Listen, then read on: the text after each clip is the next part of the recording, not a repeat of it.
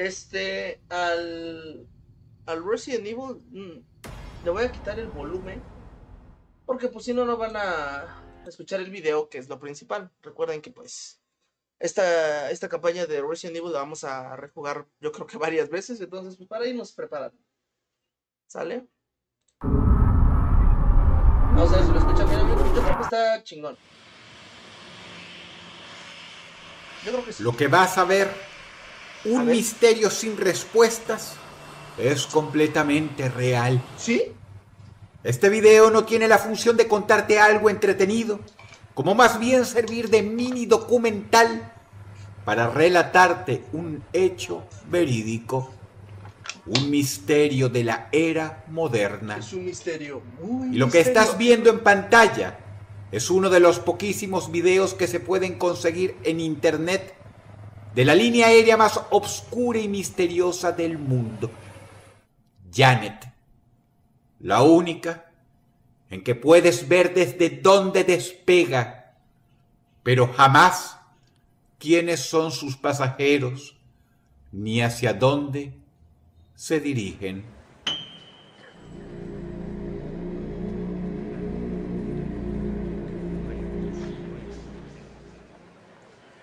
Sea como sean las ubicaciones de Estados Unidos y el mundo donde Janet Airlines se supone que aterriza, estas son completamente secretas.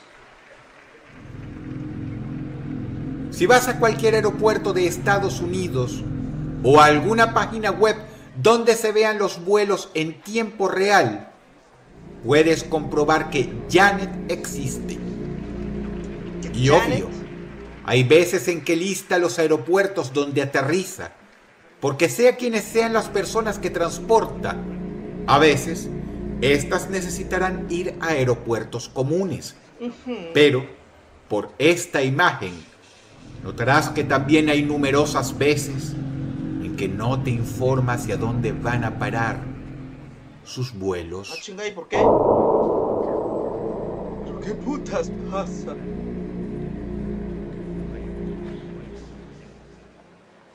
No mames. ¿Se murió? ¿Se murió? Y lo más curioso de todo es que esta aerolínea es sumamente activa. Trabaja todos los días. Averígualo tú mismo o tú misma en este link. No, gracias. ¿Qué tal? ¿Y ¿Salen gemidos? No, vamos. En la página web que estás viendo en pantalla, puedes atestiguar que se te informa el nombre de la línea. Se te informa qué tipo de nave está volando, pero no quién es el operador. Ah, ni el número de vuelo, ni otra información común acerca de la aeronave. ¿Por qué? No hay ningún puesto donde puedas comprar boletos para volar en Janet. No existe página oficial en Internet, Para volar en Janet. ni siquiera tiene No, nombre. Janet se debe a un Ah. acrónimo que reza lo que lees en pantalla, que traducido al español Solo. significa solo otra terminal no existente. Título paródico que empleados de aeropuertos alrededor de Estados Unidos le han dado. Durante años, se ha teorizado que vuela donde ninguna otra línea comercial puede ir. Por ejemplo, se dice que transporta empleados del Área 51 o de Groom Lake, otra base secreta. Pero lo que impresiona realmente es que Janet viaja a muchos lugares de Estados Unidos cuya ubicación es desconocida. Incluso va a parar a islas que no están listadas en un mapa mundi oficial o incluso en Google Maps, lo que entonces querría decir que el mundo está lleno de lugares secretos que a diferencia del Área 51 no conocemos. ¿Pero por qué? ¿Pero por qué?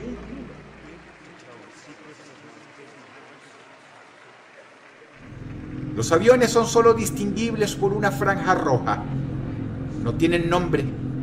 No se sabe quiénes están pilotando ni tampoco quiénes conforman al resto de la tripulación. Tampoco se sabe quiénes son los pasajeros.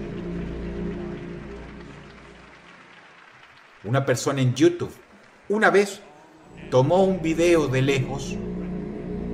Esto es lo único que hay en toda Internet.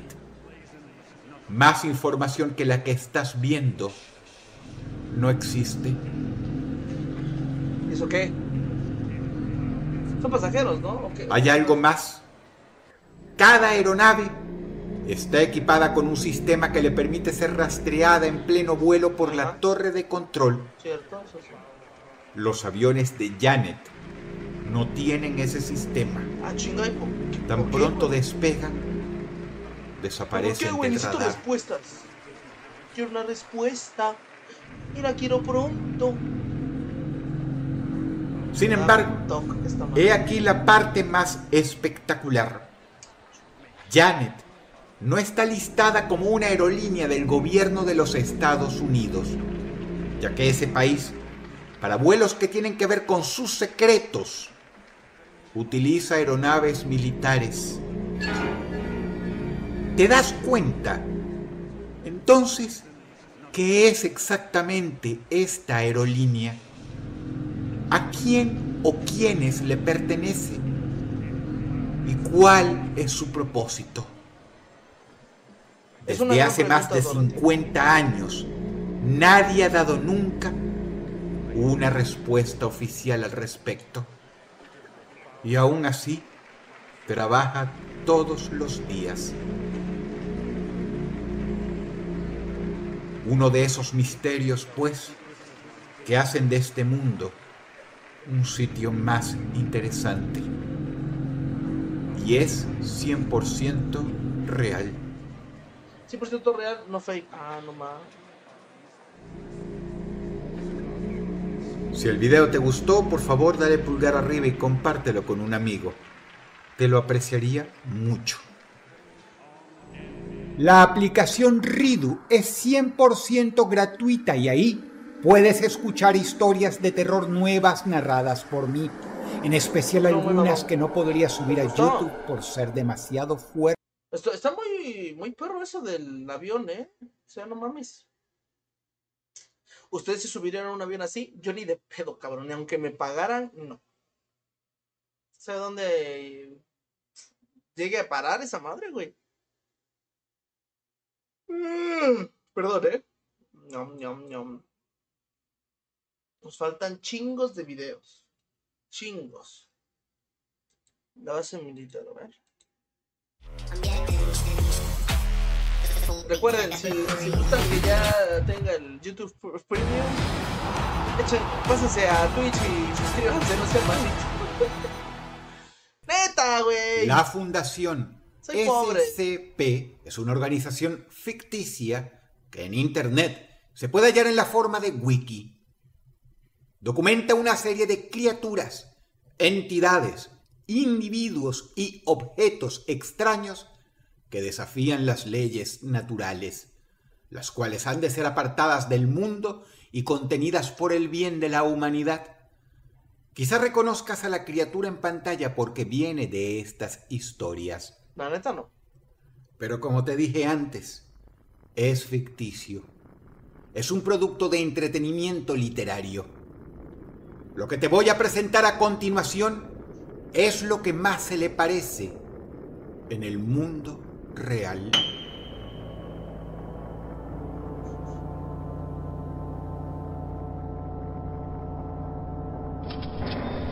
La gente está demasiado acostumbrada a que todo tipo de secretos extraordinarios vengan de Estados Unidos.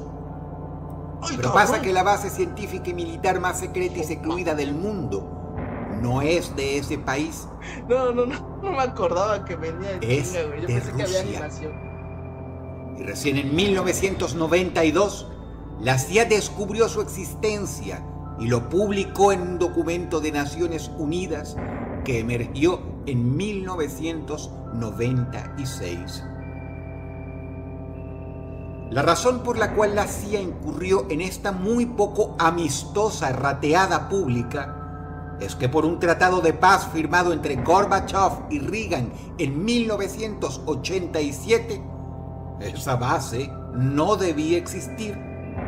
Si bien se sabe hoy que fue creada en 1959, en teoría, luego del tratado entre las dos excelencias, tuvo que haber sido desmantelada, aun si su existencia fuese desconocida por el mundo.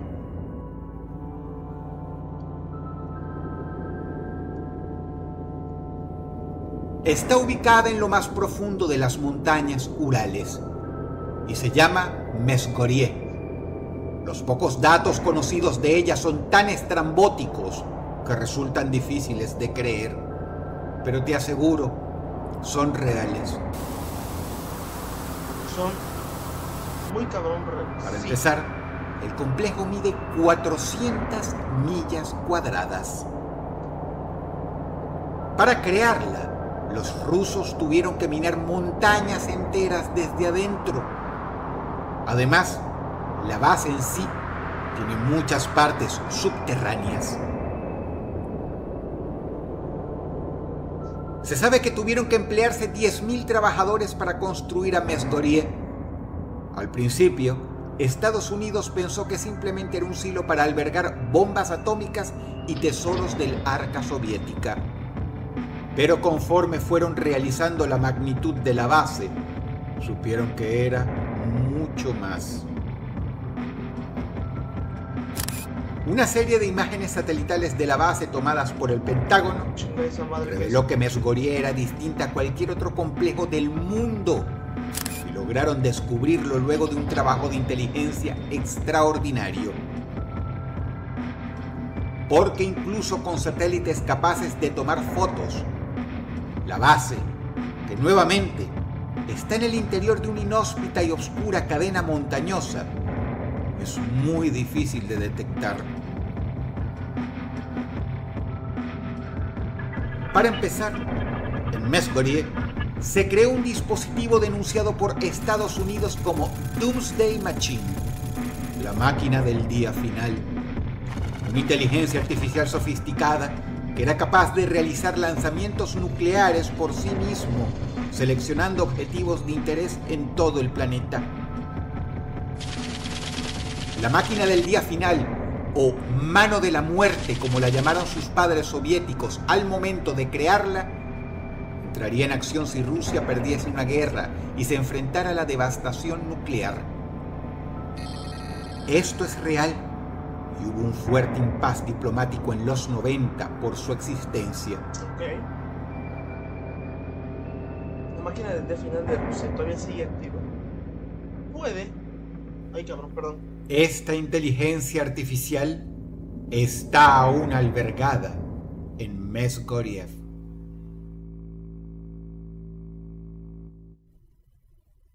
Una de las cosas más extrañas que las imágenes satelitales revelaron es que la seguridad alrededor de esta base es simple y llanamente brutal e inexpugnable. Sí. Pero presta atención, eso es alrededor. En su interior hay múltiples tropas, armadas fuertemente, que van de acá para allá utilizando enormes trajes nucleares, que a la vez sirven como impermeables para evitar todo tipo de contacto con sustancias peligrosas, amén de radiación. Para almacenar bombas atómicas no es necesario este traje. Eso dio a pensar en su momento Ah, chale. Perdón, amigos, que se quita la inspiración, pero pues. que en Mesgorie se crean devastadoras armas químicas. No, que es bien humilde. Pero hay otro detalle sin explicación que llamó mucho la atención. Estos soldados iban, como te dije antes, fuertemente armados. Manejar un arma con un traje de esta naturaleza es, amén de bochornoso y poco práctico, muy extraño. ¿Por qué van armados hasta los dientes dentro de su propia base soldados o personal especial que encima tienen que llevar trajes nucleares. ¿Qué necesidad hay de ir cargando armamento bélico tan pesado dentro de sus propios e inexpugnables silos?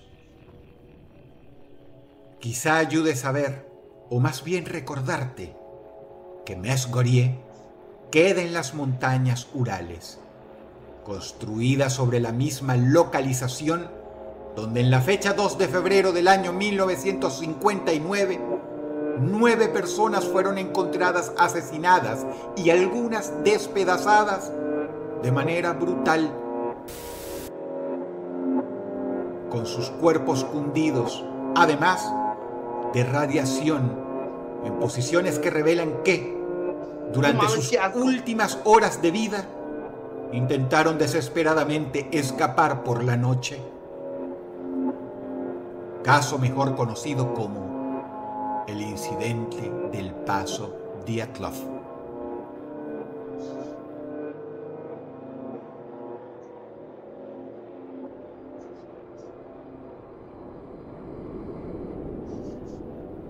La CIA estima que la construcción de Mesgorie empezó en el año 1960, un año más tarde de los sucesos del paso Diatlov.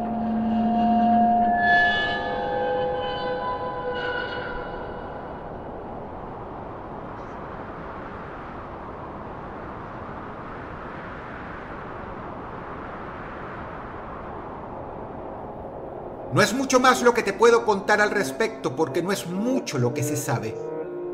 Al día de hoy, Rusia por fin reconoce que la base existe, pero se niega a decir nada al respecto y alega el mismo derecho que tiene Estados Unidos a mantener profundos secretos de Estado. ¡Ay, no, no, espérate! ¿Sí, culera? Se lo voy a vender al pinche bonero que desde que ahora estoy buscando una puta. Si el video te gustó, por favor dale pulgar arriba y compártelo con un amigo. Me gustó, me gustó, hermanito Dross, la neta. No sé por qué este. Me tumbaron el video casi casi, pero. Si no fuiste tú, no te preocupes. Yo aún así te quiero mucho. ¿Lo reconoces? Sabor ligero, delicioso y refrescante. Ese pero color que no me banen de Twitch, ya con eso me doy por bien Te van a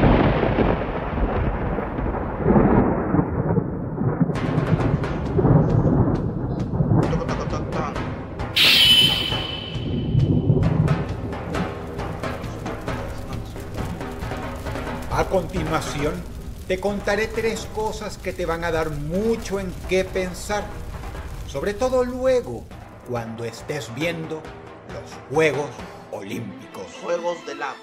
Ah, Por lo general, cada vez que te digo que algo te va a dar mucho en qué pensar, viene acompañado de intenciones macabras. Lo de hoy no es el caso. Lo de hoy viene más por el lado de ¿En qué estaba pensando el Comité Olímpico cuando autorizó estos deportes? En víspera de las Olimpiadas, quiero presentarte las tres disciplinas más extrañas en la historia de los Juegos Olímpicos. Todas han sido más que simplemente descartadas fueron eliminadas y hasta prohibidas de la competencia. En la actualidad, el Comité Olímpico prefiere hacer de cuenta que lo que estás por ver nunca ocurrió.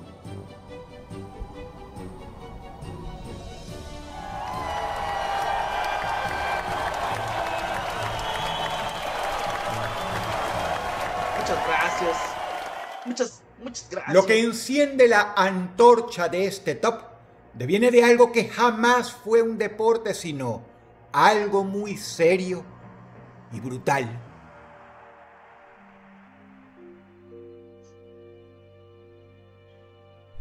No había Twitter y este era el modo en que dos caballeros resolvían diferencias irreconciliables. Así apenas lo hice. El duelo a tiro limpio. El concepto es simple y seguramente no necesitas que te lo explique. Lo habrás visto muchas veces en series, películas y hasta la literatura. Y no era cuento. Hubo una era en la historia que esto se hacía de verdad. Así se resolvían las grandes disputas entre dos personas. Y aunque no era tan usual, a veces las mujeres también se batían a duelo. El comité de 1906 en Atenas decidió que tenía valor agregarlo a la cartera de Juegos Olímpicos. A mí. Perdón. Las reglas. Separación de 20 o 30 metros de distancia entre los caballeros. Ambos contendientes iban protegidos y, si bien las pistolas eran reales, disparaban balas de cera concentrada, lo cual sí dolía mucho y podía llegar a causar heridas severas donde te dieran un área no protegida. El último gran campeón fue el capitán León Moirot de Francia, quien ganó el evento de duelo a 20 metros.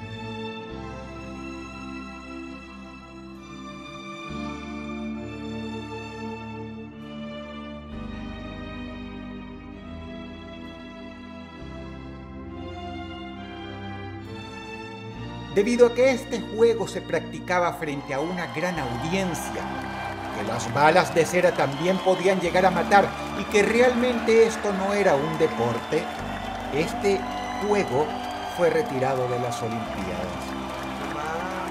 Número. Lo hubieran dejado.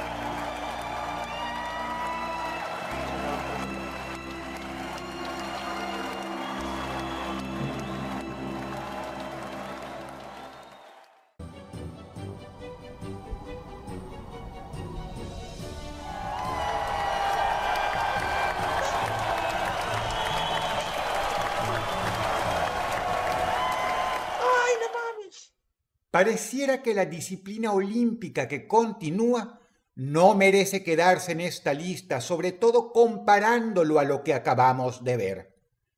Pero te voy a explicar cómo era en los viejos tiempos. Date, date, hijo. Soy muy vieja para ti. No es cierto.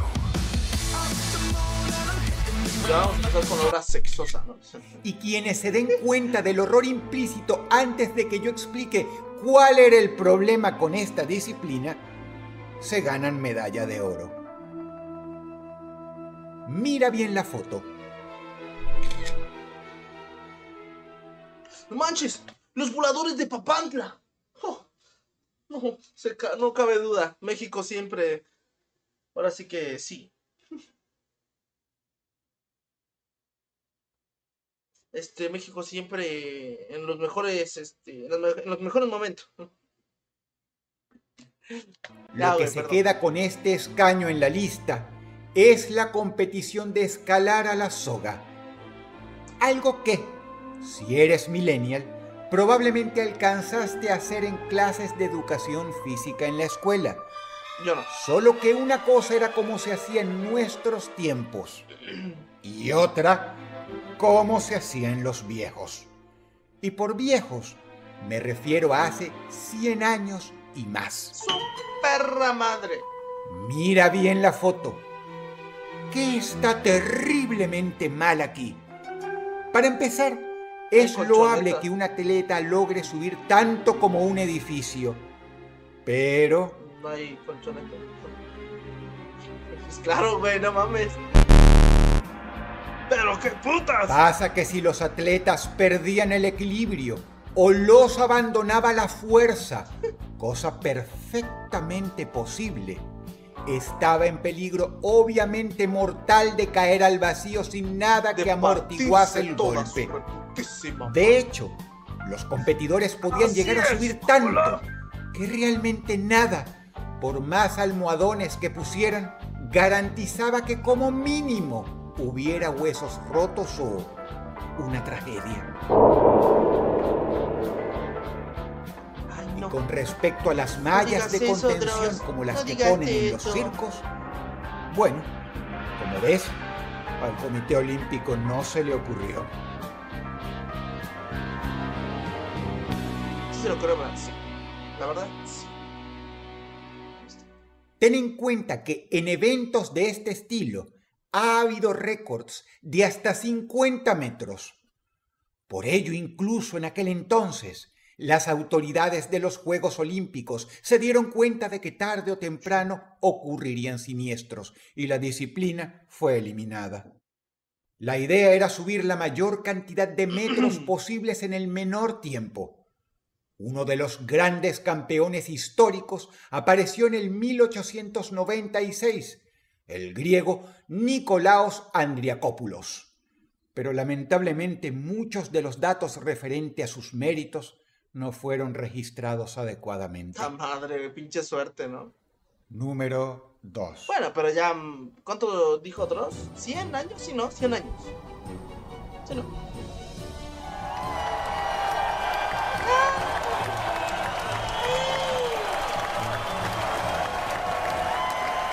Perdón.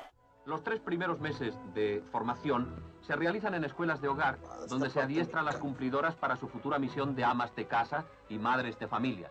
Hay mucho de qué hablar referente a los viejos tiempos.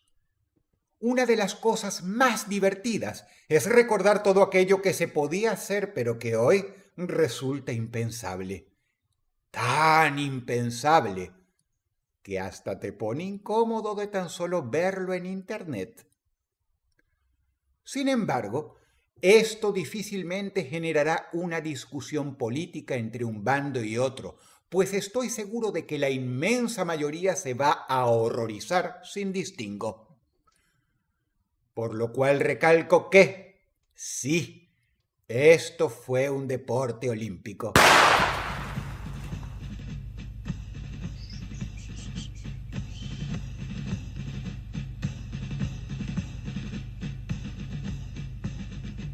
Pero ocurrió solo en los Juegos de 1900 en París y más nunca volvió a suceder. Especialmente porque el lugar donde se realizó este juego dejó atrás una masacre de sangre, plumas y uno que otro pedacito de carne sobre el sombrero de las damas.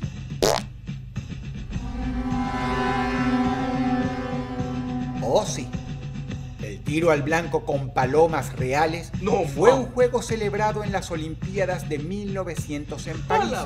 Las reglas eran simples.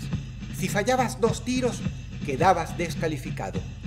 Quien lograse matar más aves ganaba la medalla de oro. El primer y último gran campeón fue el belga León de Lunden, quien alcanzó un impresionante récord al hacer volar a 21 palomas consecutivas. Aquí lo vemos en la foto posando orgullosamente con su fiel rifle. Le sigue muy de cerca el francés Maurice Faure, quien falló dos veces luego de 20 tiros exitosos. El australiano Donald McIntosh se hizo con la medalla de bronce con 18 pajaritos eliminados. 18. Hay gente que considera que las palomas son una plaga. Sin embargo, el Comité Olímpico, luego de toda la sangre y plumas que hubo que limpiar, amén de una audiencia que mostró gestos de disgusto durante la competición, decidieron que el tiro al blanco con palomas debía ser debut y despedida. Número ¡Cancelado! Ahora sí, literal, güey. ¿Verdad que te cagaste? ¿Verdad que Si te el video te gustó, por Estuvo favor muy- dale muy- pulgar arriba y suscríbete a este canal. Que Muchas gracias. Únete a mi canal de Discord, por chido. favor. Sé parte de la comunidad de horror más grande de... Claro, claro, mi buen Dross. O sea, no lo voy a hacer, pero no, no es cierto. ¡No es cierto! Con un pastel salón o mil hojas. ¿Qué es lo que hace mal Dross, güey? en el Nada. globo. No hay nada que haga mal Dross.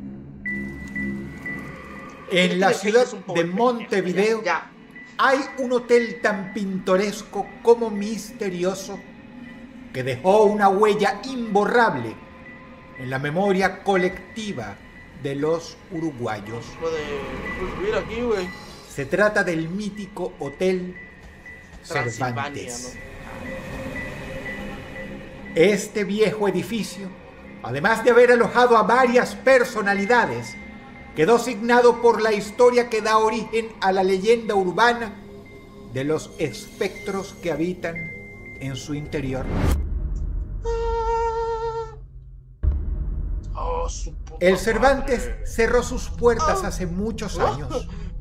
Hoy, ¿Viste eso, en su lugar, funciona otro hotel mucho más moderno. Las cosas cambiaron desde entonces, Ay, pero hay algo que sigue intacto Ay, y que no se ha modificado en lo más Órale, mínimo. perra. Los Toma, relatos que toma. involucran algunas presencias que se manifiestan en el lugar. La madre. Ya le salió una chingadera, ya le salió una chingadera. El Hotel Cervantes de Montevideo, emplazado sobre la calle Soriano, fue inaugurado en el año 1927. De estilo florentino, este lugar se dio el gusto de alojar a celebridades de la talla de Carlos Gardel o el célebre escritor argentino Julio Cortázar. Precisamente en la habitación 205 El chico de la parte donde se hospedó este gran escritor. Dio a luz uno de sus cuentos más recordados, La puerta condenada, publicado en el año 1956 en el libro Final del Juego. A partir de ese acontecimiento, el hotel quedó envuelto por un halo enigmático. Hay quienes dicen que Ah. la habitación Chinga, 205 ¿De dónde? Inspiró Ah, a cabrón. Cortázar esta historia. Está. Cuentan que esta habitación es como una puerta que conecta nuestro mundo con otro bastante perturbador. Un mundo dimensión Tranquilo, güey. Te voy a paralela. quitar esa madre.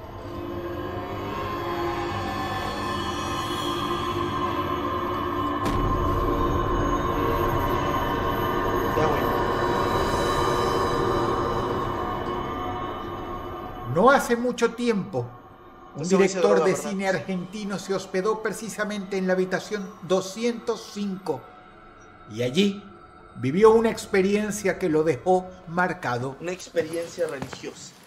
El día en el que este hombre se alojó, dejó sus pertenencias y se acostó para relajarse después de un largo viaje. Entonces, escuchó algo que llamó su atención, el llanto de un bebé.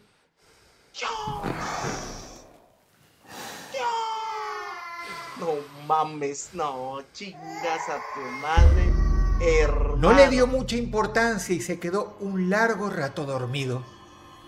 A eso de las 5 de la tarde, se levantó para ir al restaurante del hotel a tomar café.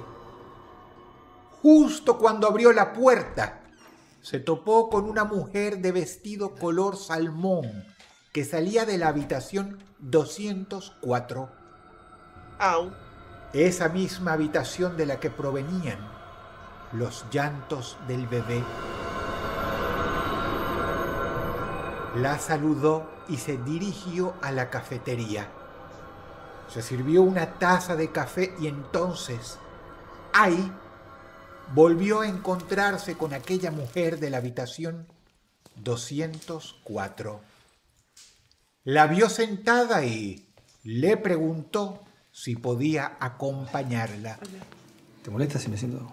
No, no, siéntese. Charlaron de cosas hasta que, de golpe, la muchacha se comportó de manera extraña. Mucho. Sí, soy director de cine. Ah.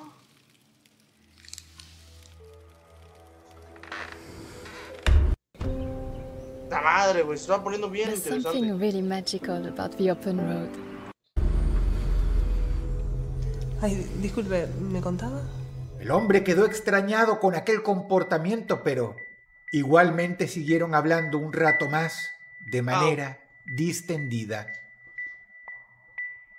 Esa misma noche, el caballero fue despertado durante la madrugada por los incesantes llantos de un bebé. No mames. Ah, ta madre.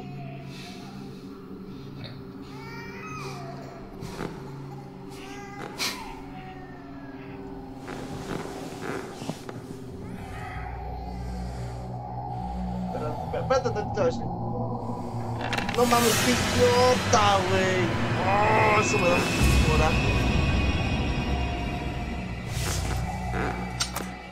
Al principio le pareció ver movimiento dentro de su cuarto, pero prendió la luz y allí no había nadie. Igualmente, ese detalle no lo tranquilizó en lo absoluto, porque el bebé del cuarto de al lado seguía llorando. El tipo la pasó mal con aquellos funestos sonidos que parecían volverse más fuertes con el correr de los minutos. Pegó su oreja a la puerta y escuchó la voz de una mujer, seguramente su vecina, que intentaba calmar al niño con una canción bosque, de cuna.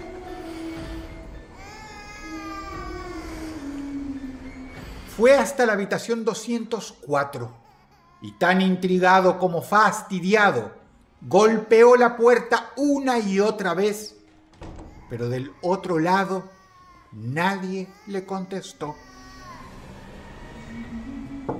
El director volvió a su habitación, la 205. Aquella noche apenas pudo conciliar el sueño.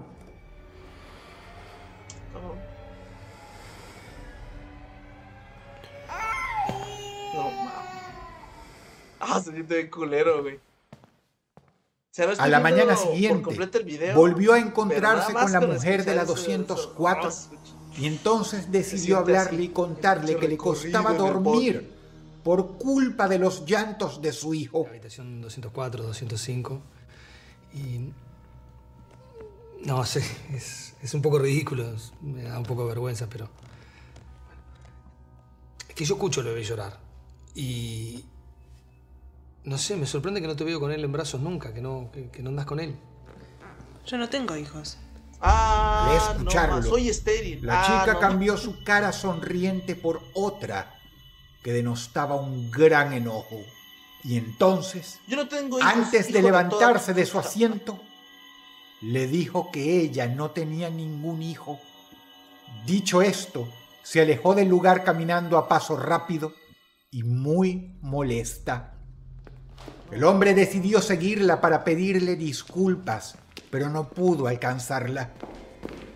La chica entró en su habitación y se la cerró prácticamente en la cara. Perdóname, perdón. Golpeó la puerta a la vez que intentaba explicarse, ¡Te hablo! cuando entonces fue sorprendido por una persona que le preguntó qué estaba haciendo. Disculpe, ¿necesita algo? Era un conserje del hotel. El hombre le explicó la historia, amén de los llantos del niño que no lo dejaban dormir. Con un bebé, si no. Al escucharlo el empleado, sorprendido, le reveló entonces Quedó con un bebé, es.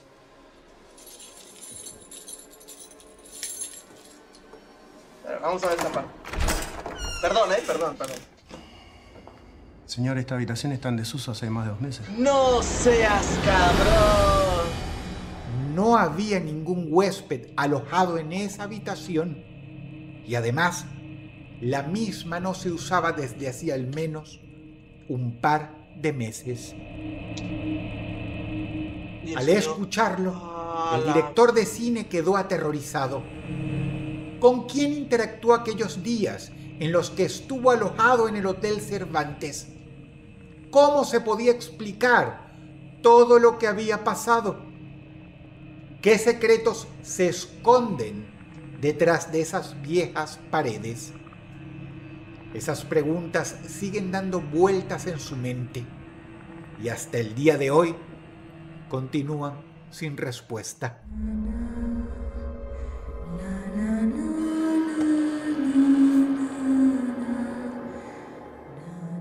Las décadas transcurrieron y el brillo que alguna vez distinguiera ese icónico hotel de la capital uruguaya se fue apagando hasta que a principios del siglo XXI el Cervantes cerró sus puertas definitivamente.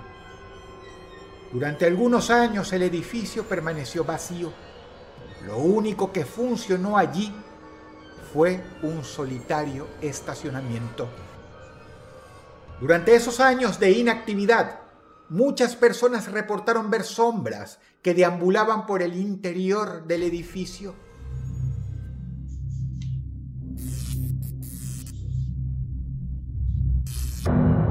Sombras que se asomaban a las ventanas o andaban en las inmediaciones.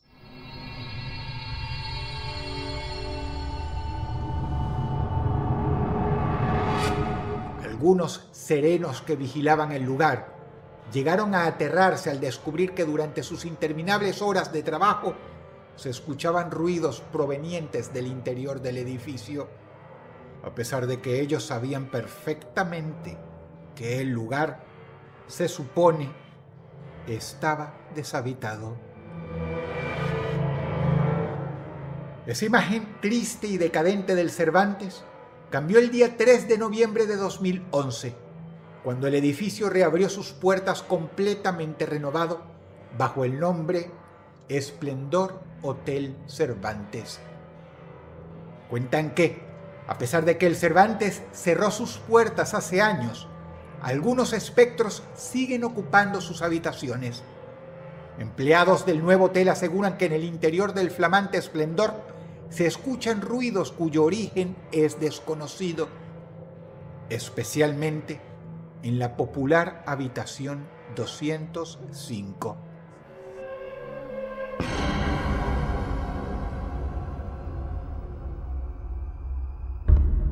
También dicen que los ascensores suben y bajan solos sin que nadie los llame y que las luces se apagan y encienden solas también.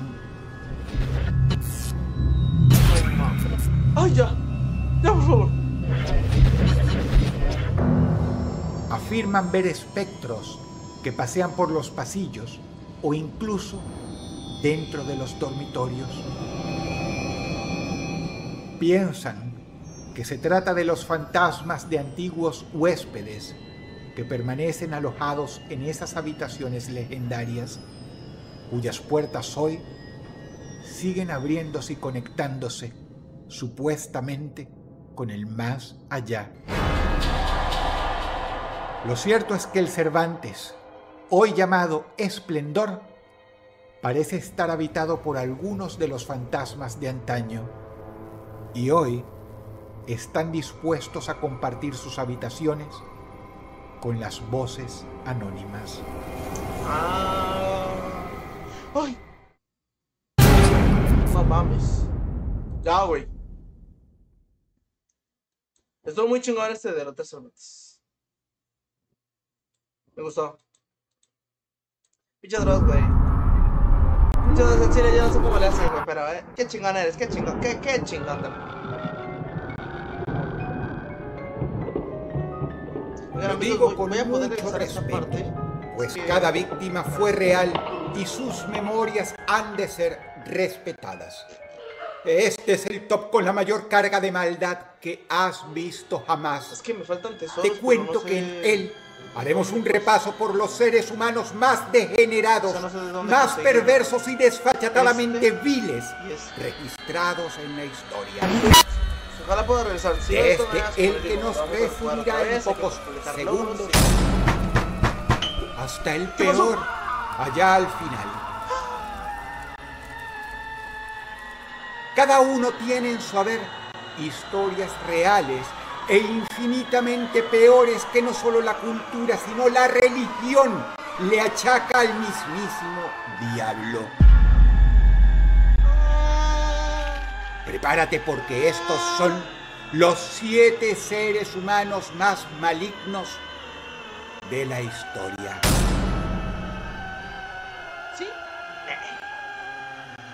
Número 7.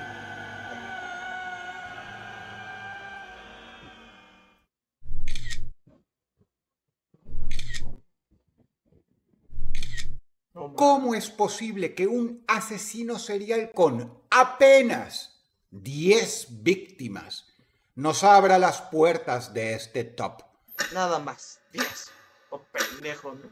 Sí, es el séptimo lugar apenas, pero podría recibirnos alguien con un contador de víctimas más grande. ¿No? No. Según el doctor en psiquiatría forense más eminente que trabajó para el FBI, y tengamos en cuenta que el FBI es la autoridad mundial máxima en asesinos seriales, el doctor Michael Stone definió 22 niveles de maldad. Y Ah, tan temprano como en el puesto 10 ya se ven a los asesinos narcisistas. Haz de cuenta que el nivel 22 está reservado para los psicópatas más depravados y crueles, aquellos que legítimamente disfrutan y son felices, causando dolor. Ay, no, Dennis feo. Rader, alias el asesino BTK, queda ahí.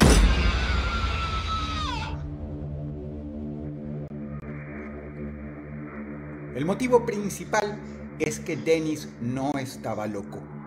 Era una persona completamente cuerda cuyo hobby era elegir no víctimas particulares, sino familias y matarlas. Her up, got her a glass of water, comforted her a little bit, and then went ahead and tied her up, and then uh, put a bag over her head and strangled her. A punta de pistola, Dennis Rader asesinó a un padre delante de su esposa e hija y luego las violó y torturó a ambas, dejándoles en claro en todo momento que no iban a sobrevivir. No mames. Dejó a la madre de última solo para que ella viera cómo mataban a su hija en frente suyo. Dennis Rader dejó al hermano menor vivo. Quería que el chico volviera y se encontrara con su familia muerta, para entonces enviar cartas anónimas burlándose y troleando al huérfano. Qué poca madre, güey. Dennis Rader también disfrutaba asesinando mascotas. Con toda su puta madre. Cuando el doctor Stone estudió a este tipo, descubrió que Rader no había tenido una infancia traumática, ni Entonces- ningún problema en particular. Era un padre de familia y, entre asesinato y asesinato, podían llegar a pasar años. No tenía urgencia por matar. En pocas palabras, Rader no estaba loco. Él lo hacía por hobby. Espero que ahora entiendas por qué con tan solo 10 víctimas el asesino BTK, Vinto. alias Tanto, que él no. mismo se puso, queda en el séptimo lugar de este top. En el séptimo. Dios. Ya no voy a poder regresar acá. ¿O sí? Número 6. Sí. Bueno,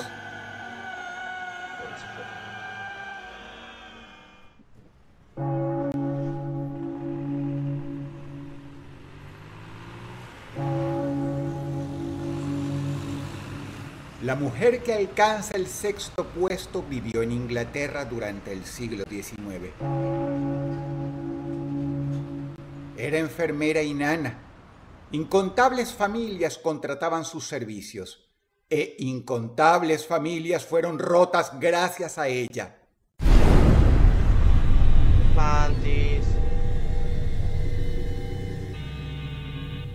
Amelia Dyer es considerada la asesina serial de niños de sexo femenino más prolífica de la historia.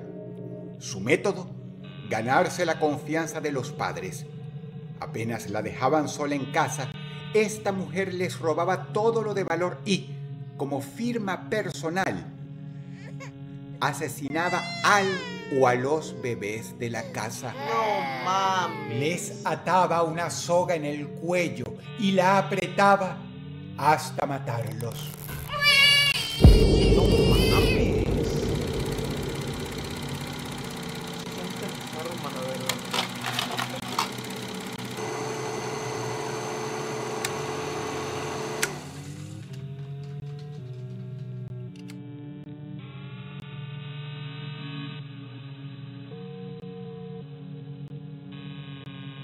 Amelia Dyer sufría de depresión, pero no estaba loca. Solo mató a incontables bebés del modo que lo hizo por gusto.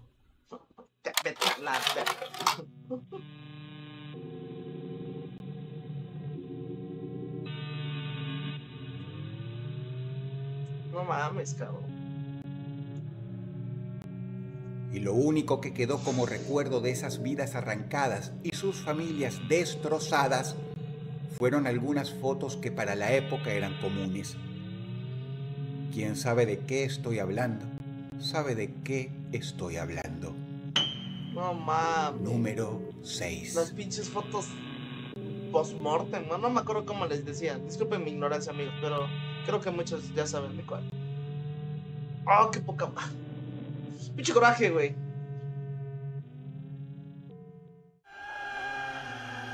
Número 5.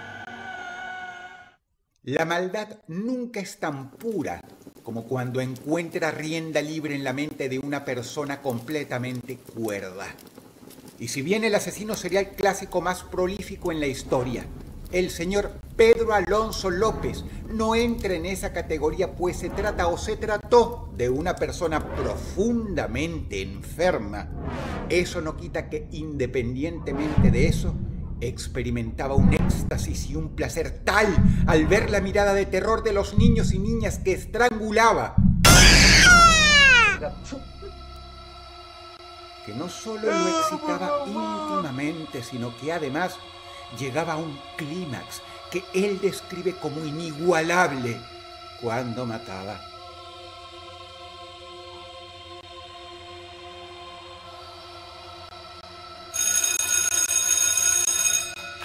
Se podría llenar una escuela entera con las víctimas de este tipo. Niños y niñas colombianas, peruanas y ecuatorianas cayeron tras el paso de un monstruo que hoy tendría más de 70 años, pero cuyo estatus legal es desaparecido. Algunos creen que el monstruo de los Andes sigue matando. Otros teorizan que ante el fracaso de la justicia por apartar a este degenerado de la sociedad, sin dudas habrá quedado fuera de combate tras un merecido ajuste de cuentas.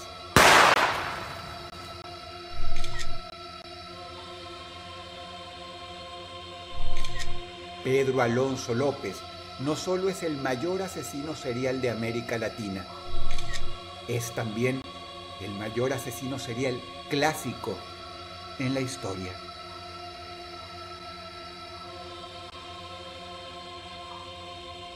Número 5.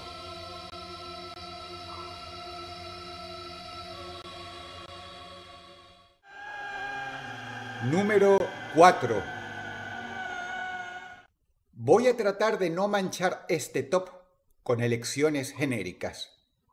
Porque sí, ya sé que todos esperan ver a este señor. Y a este también.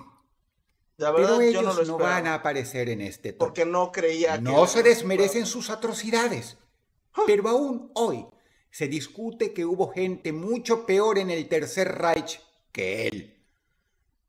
En cuanto a este animal, es exactamente lo mismo.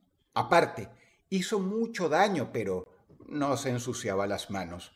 Él solo vomitaba órdenes. La persona que, sin embargo, sí se queda con el cuarto puesto fue un político. Uno que sí se manchó las manos. Ah, cabrón. No una, sino cientos de veces. Un tipo que al menos en persona daba mucho más miedo que Hitler y Stalin.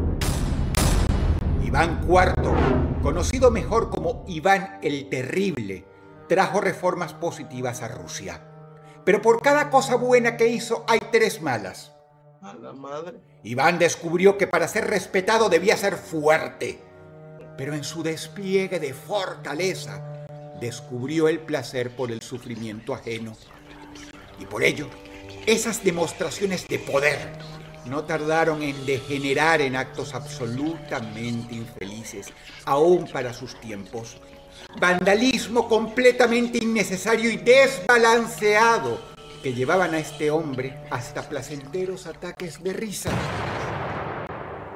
Por ejemplo, Iván el Terrible disfrutaba agarrar por el pellejo a los perros del palacio y arrojarlos desde la torre más alta, porque le gustaba cómo chillaban al caer.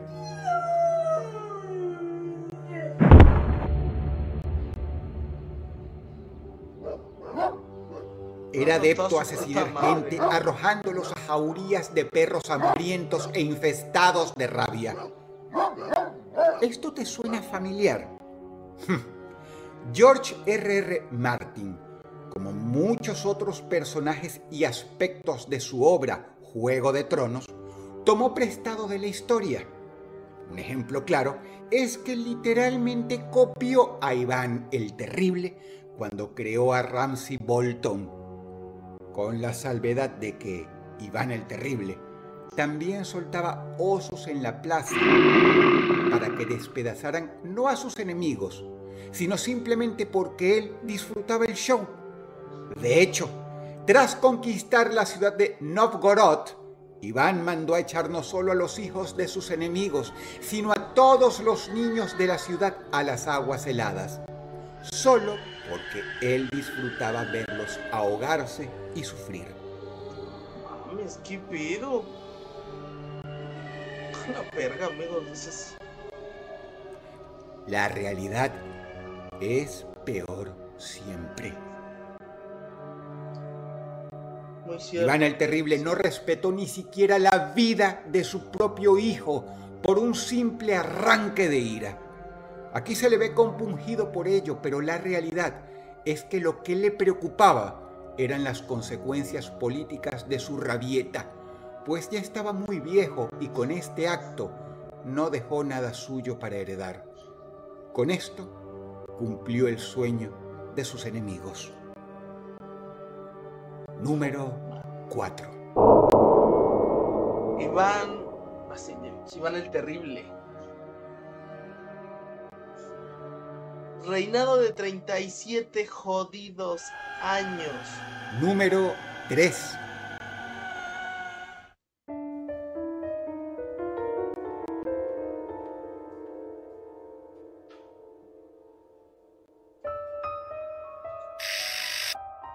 Es difícil justificar por qué este japonés se queda con un puesto tan alto. En especial porque su motivo fue la ciencia, pero lo cierto es que las atrocidades que alentó y planificó el doctor Ishii fueron tal que incluso algo tan bello y noble como la ciencia fue por siempre manchada por la absoluta inmoralidad de este tipo. Ishii no solo es uno de los hombres más perversos que existió, él tiene el mérito de haber creado quizá el episodio más oscuro de todo, todo el siglo XX.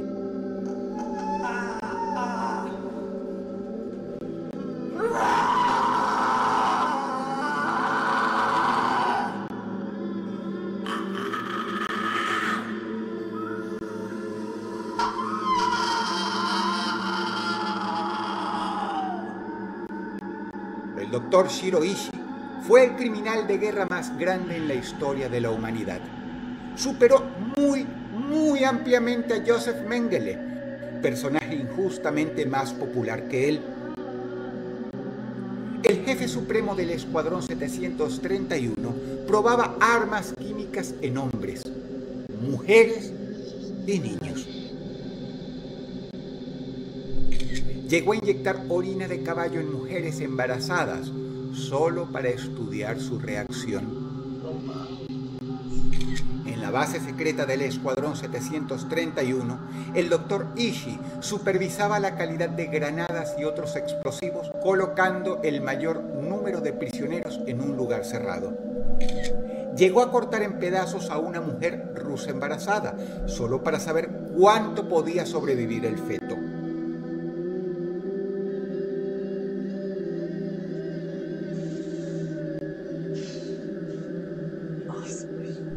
Probó la capacidad corrosiva de ácidos en los rostros y cuerpos de otros prisioneros de guerra. practicó amputaciones innecesarias solo para perfeccionar la técnica médica. Ishii realizó el mismo experimento tres veces metódicamente en hombres, mujeres, niños e infantes también. Ah, su madre, hay que ser Separó a hombres por país y raza y uno a uno los sometió a pruebas de dolor extremo para comprobar cuánto puede soportar un ser humano siendo sometido al más grande suplicio antes de ocasionar la locura o un paro cardíaco.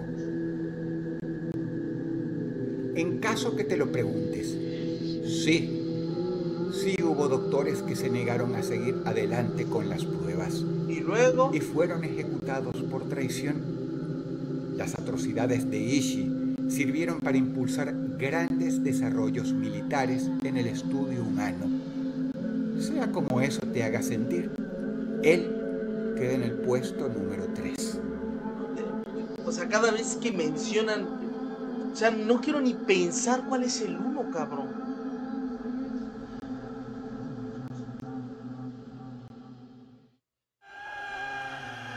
Número 2.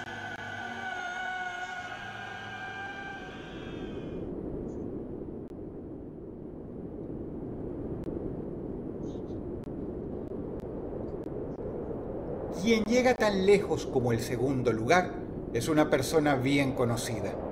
Una mujer que aún hoy, a más de 400 años de su muerte, sigue dando de qué hablar. Se dice que Cleopatra mandaba colgar vacas con poleas para darse duchas de leche. Eso claro, cuando no se las daba en la tina.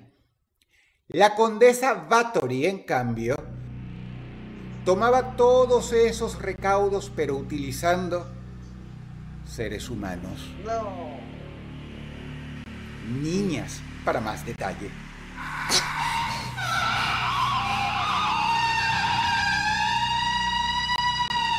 Esta señora estaba convencida de que si se bañaba con la sangre fresca de niñas, iba a evitar arrugas sobre su piel. Es considerada como la asesina serial más prolífica de la historia, independientemente si hablamos de hombres o mujeres. Pero con ella hay que hacer una distinción. No es una asesina serial clásica, porque mucho de lo que logró fue gracias a un abuso de poder sin precedentes.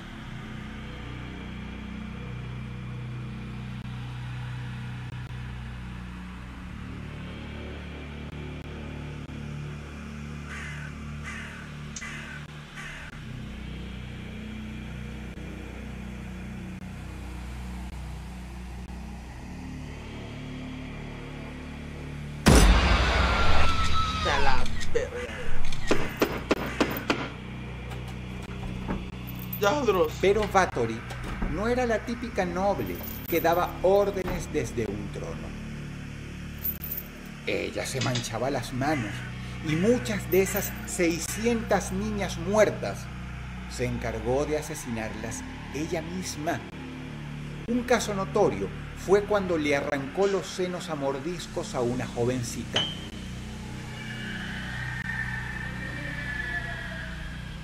Y no lo hizo por rabia, sino porque ella creía que aquello sería un chiste divertido para sus súbditos más fieles, quienes encima le tenían que aplaudir estos actos riendo a mandíbula batiente o enfrentar consecuencias inusitadamente crueles, ellos y sus familias.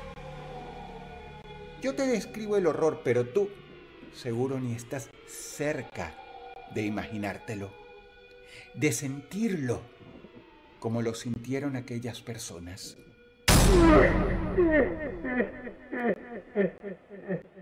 Más allá de arrancar uñas con alicates o dar monedas al rojo vivo a quienes obligaba a recibir a mano cerrada a los sirvientes el día del pago, te pido que cierres los ojos, escuches mi voz y te imagines a ti misma o a ti mismo en esa situación.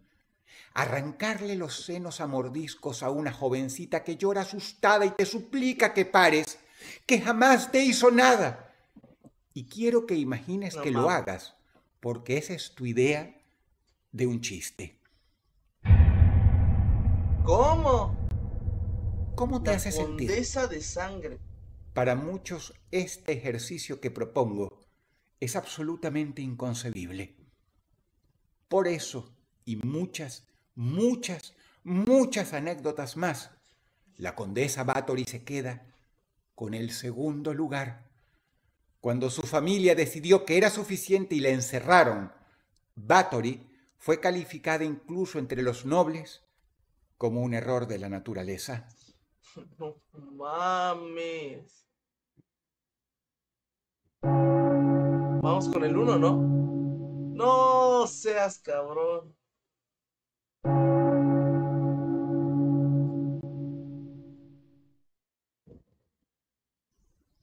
El hombre más malo en la historia registrada vivió hace más de 500 años en Francia y llegó a conocer en persona grandes figuras históricas, como por ejemplo Juana de Arco.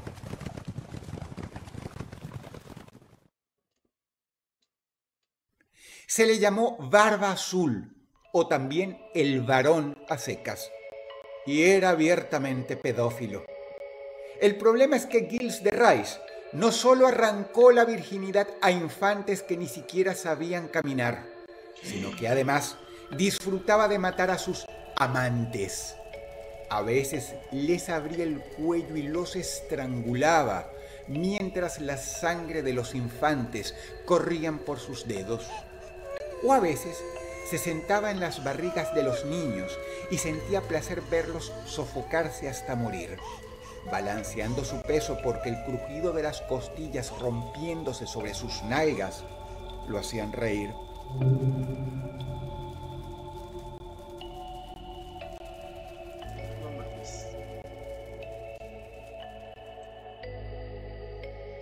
Cuando el varón se instalaba en un palacio, los niños del área desaparecían. Había días en que, mandarria en mano, les arrancaba la cabeza a los chiquitos.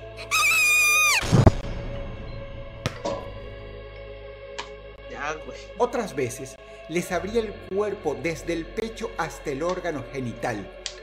Los volteaba y mientras las tripas de ellos y ellas se derramaban, este hombre tenía sexo frenético con ellos.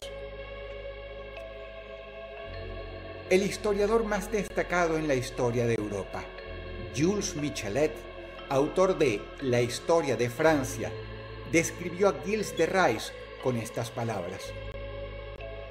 Tanto Nerón del Imperio Romano como los tiranos de Lombardía habrían palidecido en comparación a las atrocidades perpetradas por Gilles de Montmorency Laval.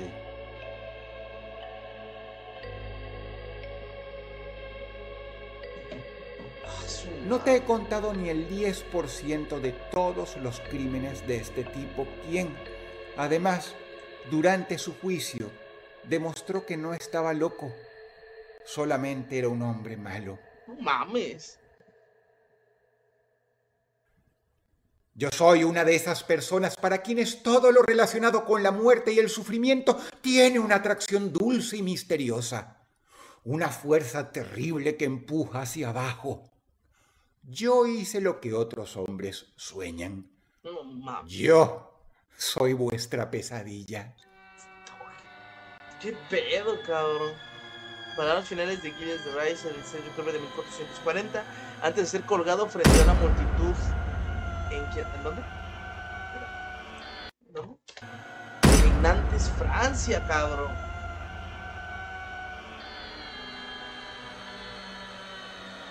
No mames. Ay, perro asqueroso, güey. por favor dale pulgar arriba. y Querido Dos, que- este claro canal. que me gustó, no mames. Muchas amigo. gracias. Envío un agradecimiento. A Gerardo Blumerfield, ya que él ayudó mucho para la realización de este top. Excelente. Ah, amigos. Muy chingón. Muy chingón. Pero bueno, hasta acá le vamos a dejar. Mañanita, ya saben, stream, claro que sí. Pues bueno, besazo Adiós, chicos y chicas.